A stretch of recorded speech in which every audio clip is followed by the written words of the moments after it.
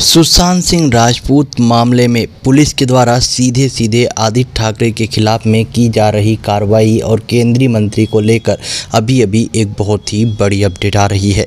सुशांत सिंह राजपूत मामले में आप सबने देखा होगा, अभी कुछ दिनों पहले ही एक एसआईटी का गठन करने की बात कही जा रही है।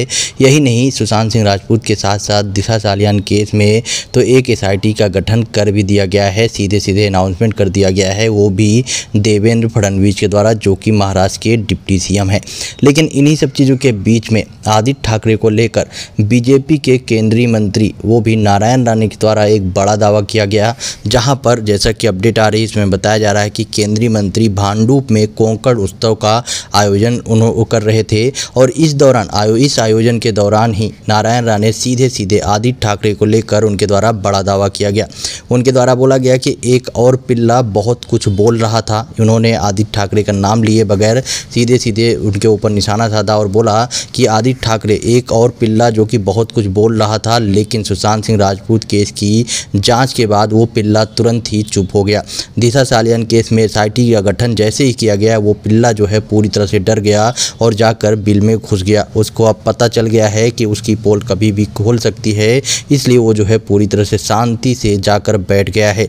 लेकिन वो बचेगा उसके बावजूद भी नहीं, उसके खिलाफ में जल्द से जल्द कार्रवाई की जाएगी और जो एसआईटी का गठन किया गया है, खासकर की दिशा चालियन केस में, वो प्रॉपर छानबीन करेगी और प्रॉपर छानबीन करके जल्द ही उसको जो है गिरफ़्तार करेगी।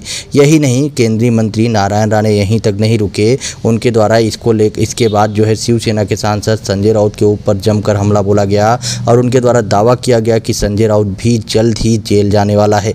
मतलब कि उनके द्वारा ये दावा किया गया, संजय राउत जो कि अभी कुछ दिनों पहले से ही जेल से, कुछ दिनों पहले ही जेल से बाहर आए हैं वो एक बार फिर से जेल जाने वाले हैं।